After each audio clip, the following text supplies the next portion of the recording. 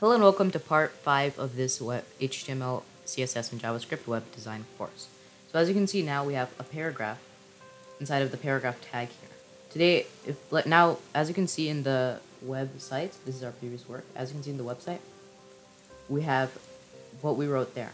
Now let's say we want to make it a different color. In order to do that, you write style, color, and then Visual Studio Code should automatically write that for you by typing color and then control space and then click enter. Or you can just type it out by writing color, colon, and then the color that you want. Let's say we want to make it blue. Then we type blue and then we add a semicolon. You click save and then because this is modifying this single tag, this paragraph text should become blue. Now if you refresh, it has you can see that it's become blue. Now let's say that we have we've we've we haven't made the style yet and we've made multiple paragraphs like this. Now we have to go through each one of these paragraphs and then type style and then add the color. And then add st write style and then add color and then add blue.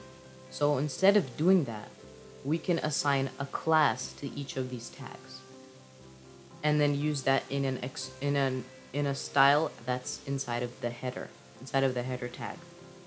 You may not understand this now, but just hang with me and then I will show you I'll and then you'll understand at the end of this video.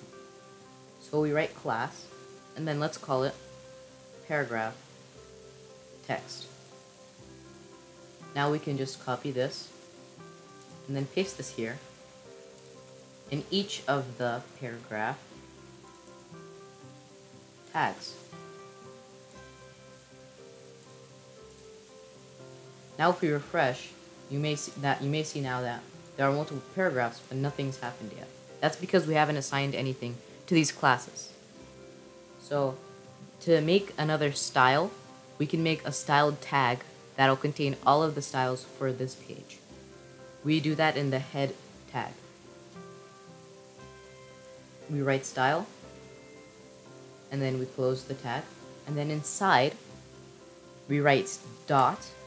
Dot stands for a class. Okay, dot means it's a, when we write dot, it, it means that we can now write the name of a class that we want to edit. So we write pgr text, the name of the class, of our class, and then we make an open bracket and a closed bracket, and then we press enter, we click enter, and then we can write what kind of style we want to add to the text. So just like before, we want to make the color blue. So just like before, color, semicolon, blue, color, colon, blue, and then semicolon.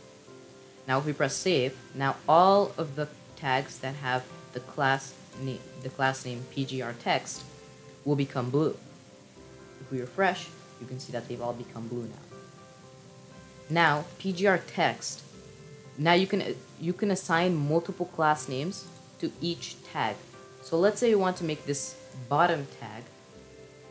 We want to make we uh, we let's say we want to move the tag to the to the left. Okay? Or we want to add padding to the left. To add padding means to add space to to the to whatever side we want to add it to. But we only want it to affect this paragraph.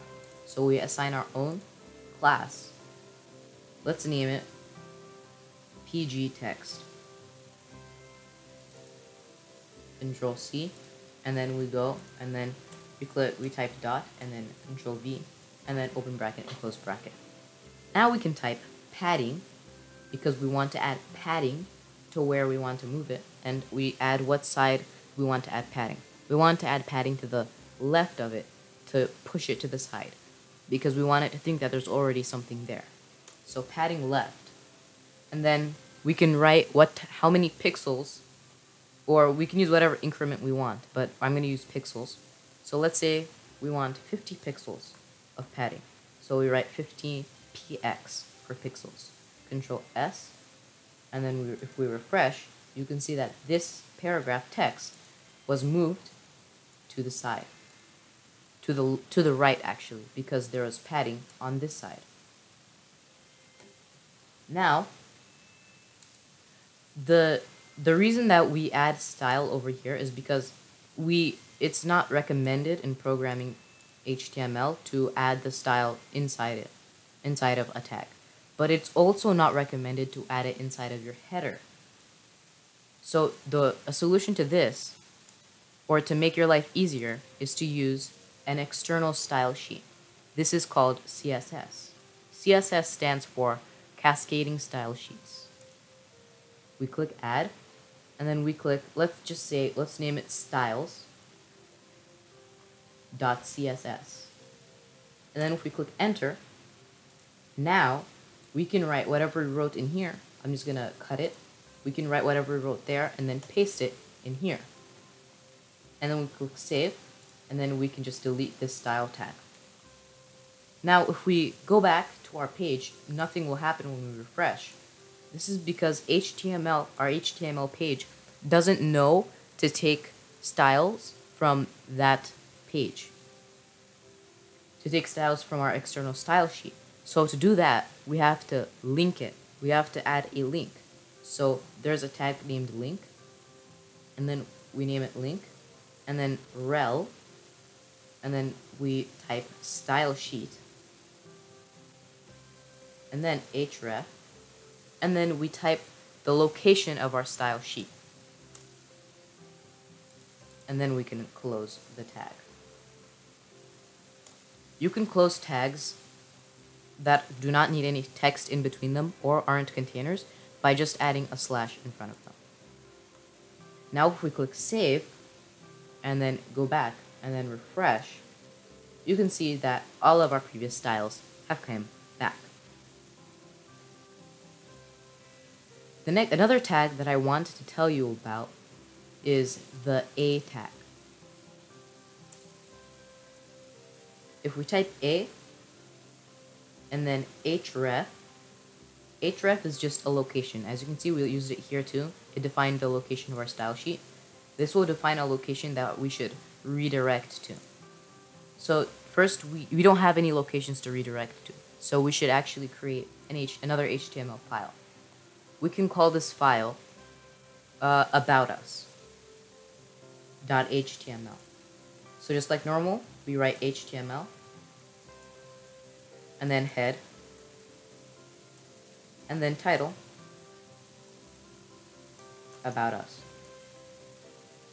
And then, inside the HTML, we type body, and then about us. In fact, we can use the h1 tag that we learned about in the previous lesson, and then type about us. Now, in, in the href, we can give it the location of about us. Dot slash and then about us. And then in between the A, open the open tag and the closing tag, we have to write text so that it can give us an actual redirect. So it can give us text to click to redirect us. So let's write about us. Or actually go to about us. And now if we click save, and then refresh, you see a link. You can tell it's a link because it's underlined. You can see a link that says go to About Us. So now if we click the link, we've been redirected to the About Us page. Thank you for watching. This has been part 5 of this web design course. Please stick around.